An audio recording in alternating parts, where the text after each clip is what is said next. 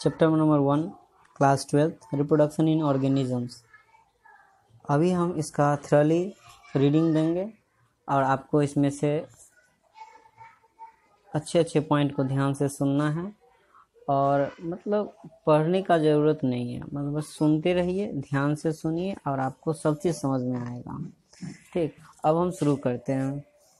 Each and every organism can live only for a certain period of time The period from birth to natural death of an organism represents its lifespan. Lifespan of a few organisms are given in figure 1.1.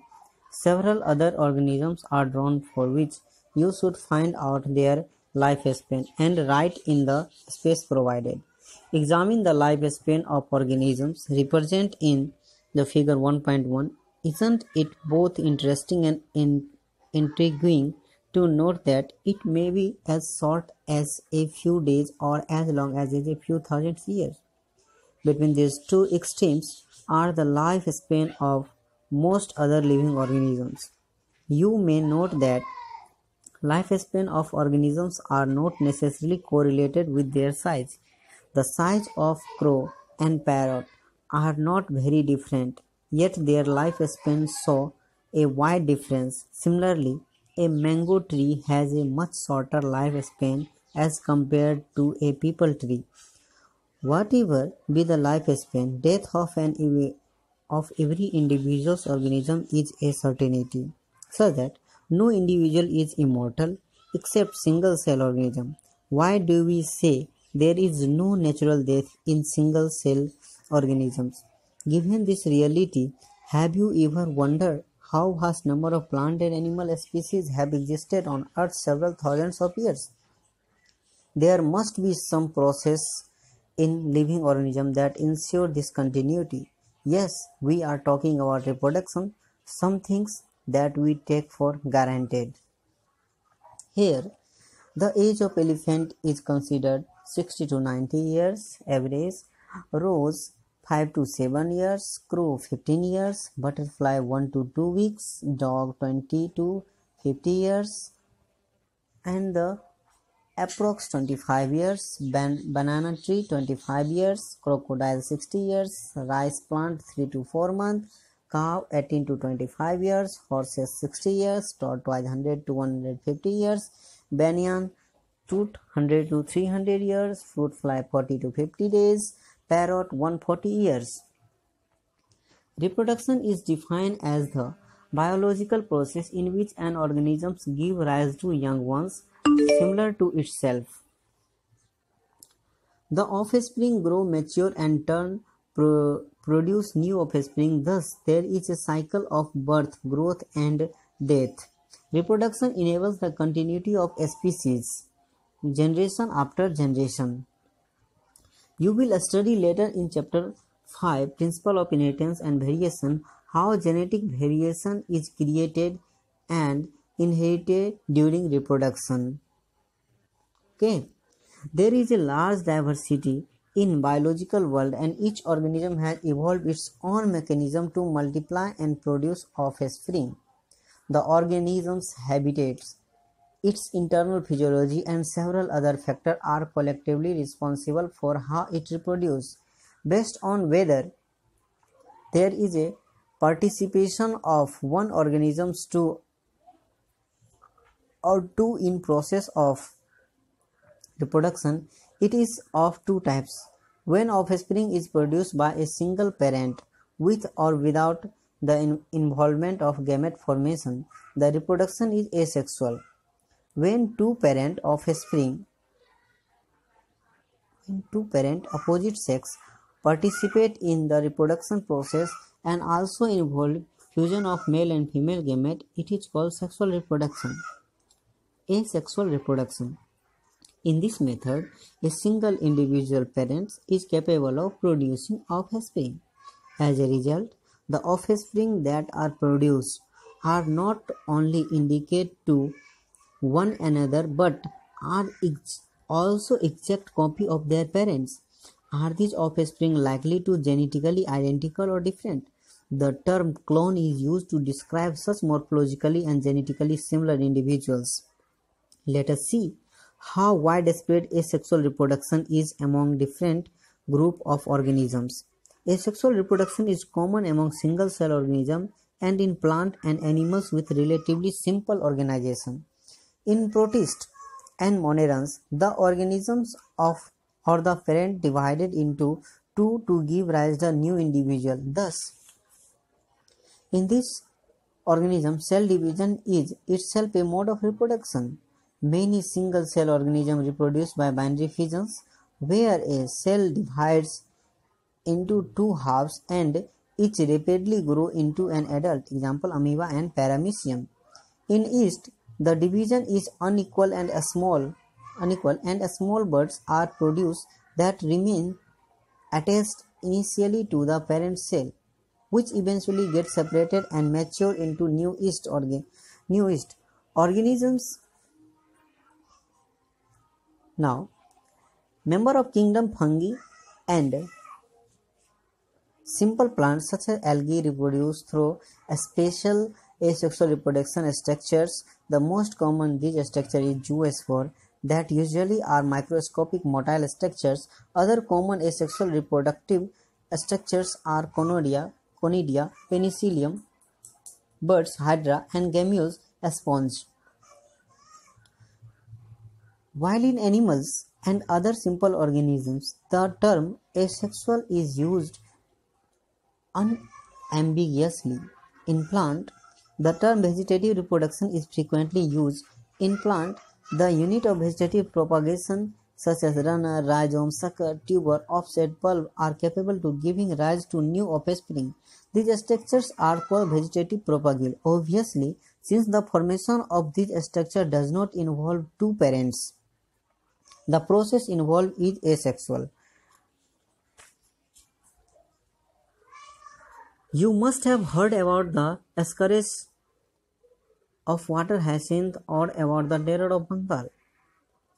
This is nothing but the aquatic plant water hyacinth, which is one of the most invasive weed weed found growing wherever there is standing water. It drains oxygen from the water, which leads to death of fishes. You will learn more about it in chapter 13 and 14. You may find it interesting to know that this plant was introduced in India because of its beautiful flower and shape of leaves. Since it can propagate vegetatively at a phenomenal, phenomenal rate and spread all over the water body in short period of time, it is very difficult to get rid of them. Are you aware how plants like potato, sugarcane, banana, ginger, dahlia are cultivated?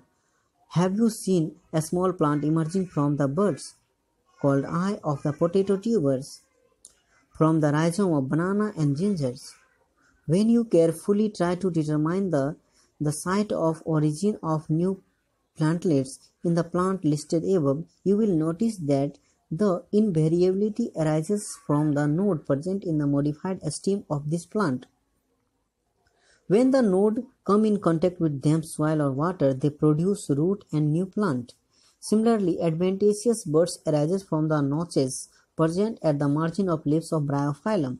This ability is fully exploited by gardeners and farmers for commercial propagation of such plant. It is interesting to note that asexual reproduction is the common method of reproduction in organisms that have a relatively simple organizations like algae and fungi and that they shift to sexual method of reproduction just before onset of adverse condition.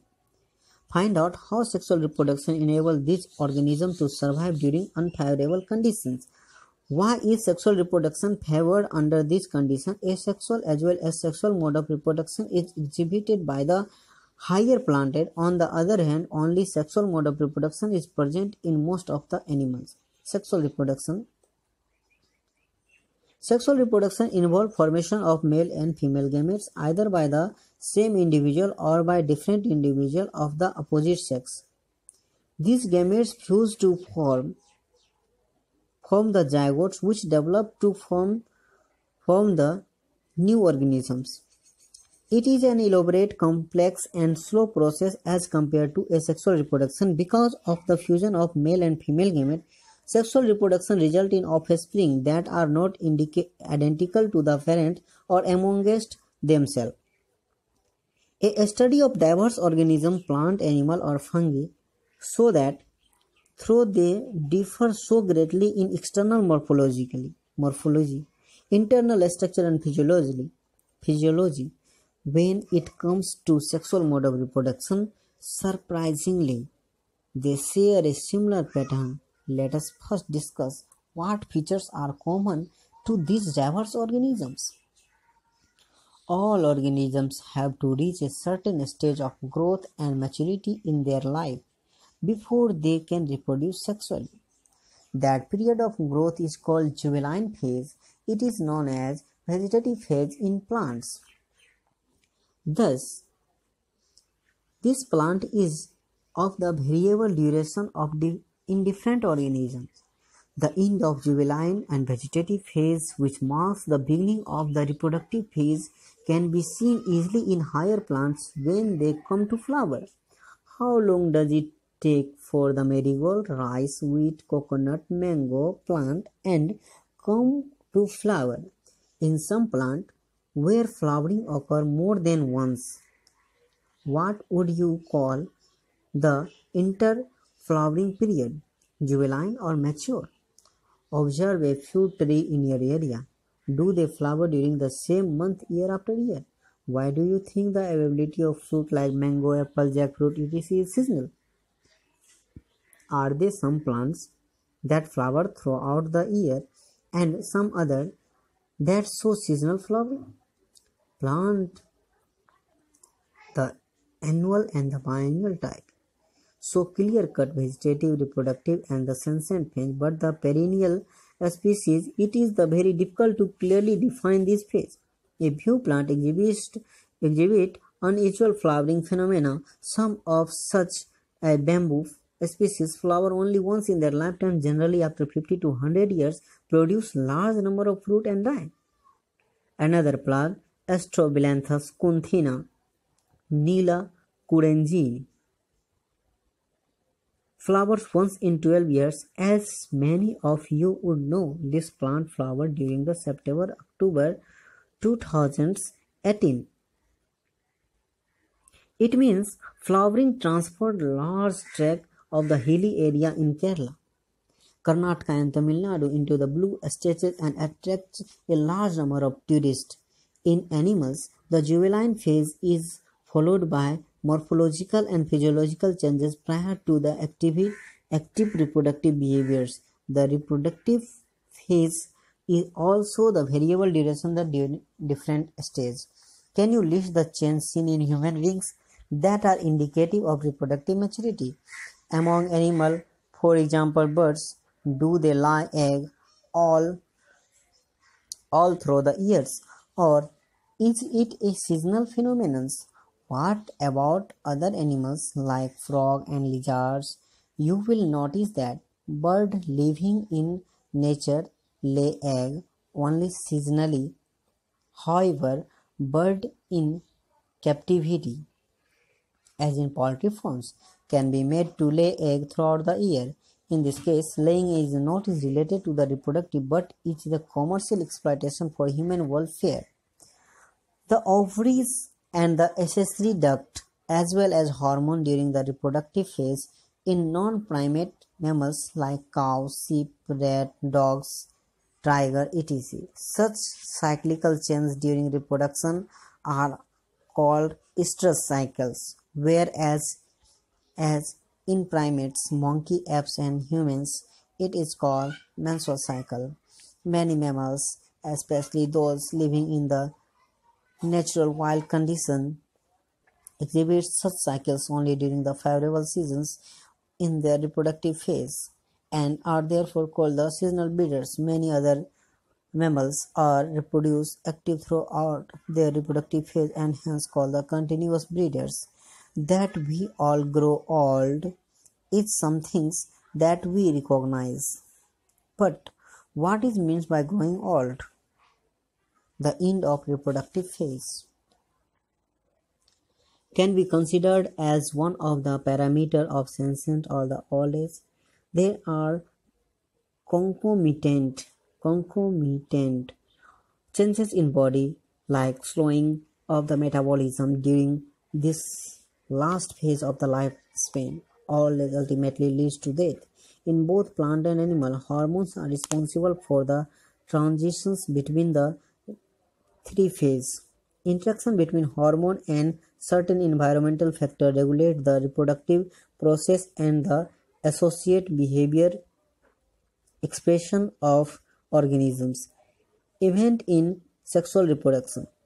After attaining of maturity all sexually reproducing organism exhibits event and process that are remarkable fundamental similarly even though the structure associated with the sexual reproduction are indeed very different the event of sexual reproduction through elaborate and complex follow the regular sequences sexual reproduction is characterized by the fusion or fusion or fertilization of the male and female gamete, formation of zygote, and embryogenesis. For convenience, this sequence event may be grouped into three distinct stages, namely pre-fertilization, fertilization, and the post-fertilization event.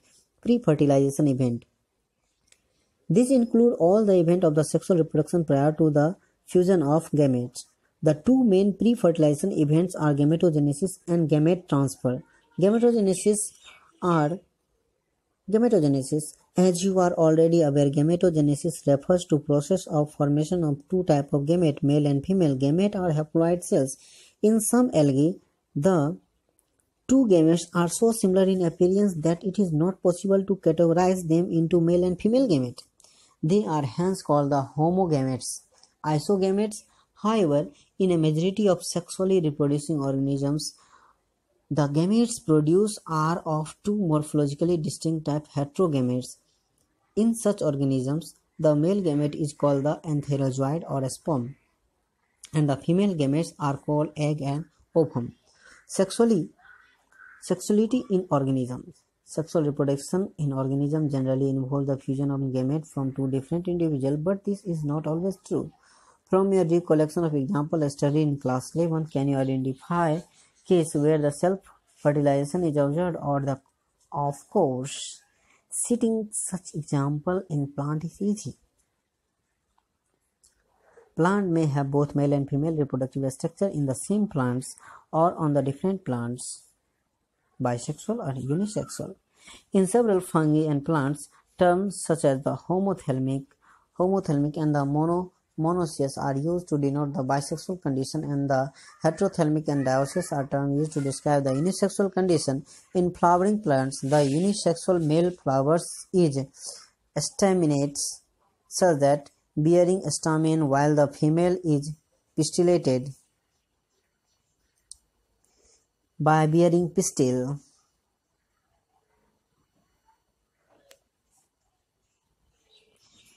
In some flowering plants, both male and female flower may be present on same individual monoecious or on the separate individual dioecious.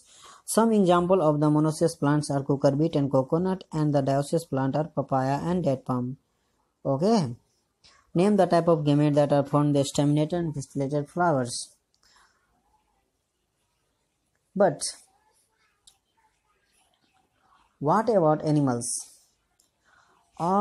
All individuals of all species either male male female unisexual or the species possess both reproductive structure bisexually probability can list list of several unisexual animal species earthworm sponge tapeworm leech typical example of bisexual bisexual animals that possesses both male and female are hermaphrodite. Cockroach is an example of unisexual species. Cell divisions during gamete formations formation. Gamete is gamete in all hetero heterogametic species are are of two types, namely male and female. Gametes are haploids through the parent plant body from which they arises may be either haploids or diploid. A haploid plant produces gametes by mitotic division. Thus, this means that that meiosis never occur in organisms that are haploids. Carefully examine the flowchart of the life cycle of algae that you have studied in class 11 and get the suitable answer. Several organisms belonging to Monera, fungi, algae and bryophytes have haploid plant body, But in organisms belonging to the pteridophyte gymnosperm and angiosperm, the most animals, including human beings, are parent body diploids. It is obvious that meiosis is reductional division such has occurred in the diploid body. Body body has to produce haploid gametes. In diploid organism, special specialized cells called the meiocytes gamete mother cells undergo meiosis. At the end of meiosis, only one set of chromosomes get incorporated into the gametes. Carefully study the table 1.1 and fill the diploid and haploid chromosomes number of organism. Is there any relationship in the number of chromosomes and meiocytes and the gamete? Gamete transfer. After their formation, male and female gamete must be physiologically brought together to facilitate fusions. Have you ever wondered how the gamete meet? It, in the majority of organisms, male gamete is motile and the female gamete is stationary. Exceptional Exceptions are in the few algae, few fungi and algae in which both type of gametes are motile. There is there is a need for the medium through which the male gametes move. It several in several sim, simple plants like algae, bryophyte, and pteridophytes. Water is the medium through which this gamete transfer takes place. A large number of male gametes, however, fail to reach the female gametes. To compensate this loss, of the male gamete during the transport. The animals of the male gamete produce is several thousand times the number of female gamete produced. In seed plant, pollen grain are carrier of carrier of male gamete and ovule have have the egg pollen grain produced in anther therefore have to have to be transformed to the stigma before it can lead to fertilizations. In bisexual self-fertilizing plants, example pea, transfer of pollen grain to the stigma is relatively easy to anther and stigma are located close to each other. Pollen grains soon after the seed come in contact with the stigma, but cross-pollination plants, including dioecious plants, a specialized event called pollination facilitate transfer of pollen grain from pollen grain to a stigma. Pollen grain germinate on a stigma and the pollen tube carrying the male gametes reaches the ovule and, and discharges male gamete near the egg. In dioecious animals, since male and female gamete are formed in different individuals, the organism must evolve a special mechanism for, for gamete transfer. Successful transfer and coming together of gamete is essential for the most critical event in sexual reproduction or fertilization. Fertilization the most vital event of sexual reproduction is perhaps the fusion of gametes. This process called called syngamy result in formation of a diploid zygote. Zygote. The term fusions is also often used for this process. The term syngamy is the term syngamy is visible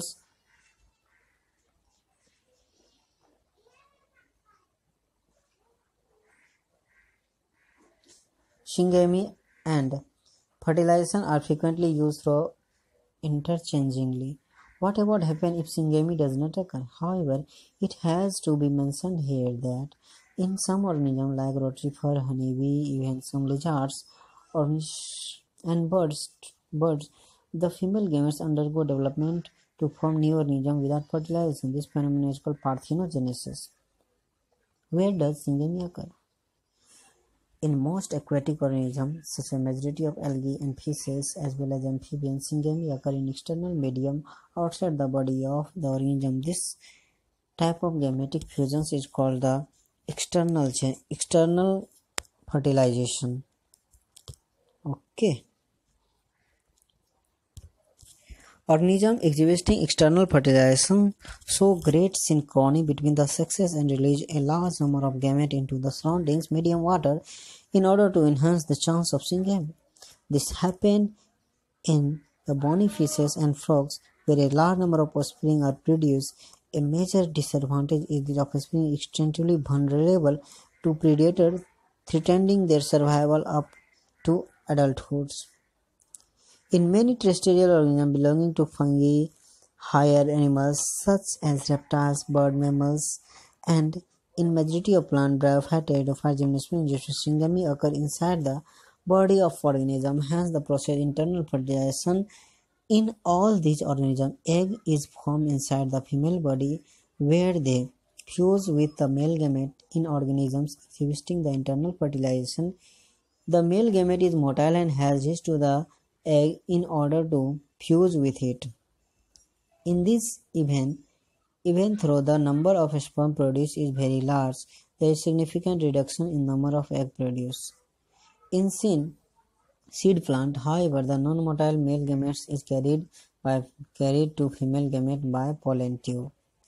Pollen fertil pollen fertilization event post fertilization event event in sexual reproduction after formation of zygote is called post fertilization event. The zygote Formation of diploid zygote is universal in all sexually reproducing organisms. In organisms with external fertilization, zygote is formed in the external media, usually water. Whereas in those exhibiting internal fertilization, zygote is formed inside the body of organism. Further development of zygote depends on the type of life cycle the organisms has has and the environment it is exposed to. In organism belonging to fungi and algae, They zygote develop a thick wall that is resistant to desiccations and damage. In it undergo, undergoes a period of rest before germination. In organisms with haplontic life cycle, as you have read in class 11th, zygote divide by meiosis to form haploid spore and grow into haploid individuals. Consult your class 11th book and find out what kind of development takes place in zygote in organism with diplontic and haplodiplontic life cycle. Zygote is the vital link that ensures continuity of species between the organisms and one generation to the next. Every sexually reproducing organism, including human beings, being in life as a single cell, the zygote. Embryogenesis. Embryogenesis refer to process to process of development of embryo from the zygote. During embryogenesis, zygote undergo cell divisions. Undergo cell divisions and cell differentiation. While cell divisions increase the number of cells in the developing embryo, cell differentiation help Cell differentiation help group of cells to undergo certain modifications to form specialized tissue and organ to form an organisms. You have studied about the process of cell cell divisions and differentiation in the previous classes.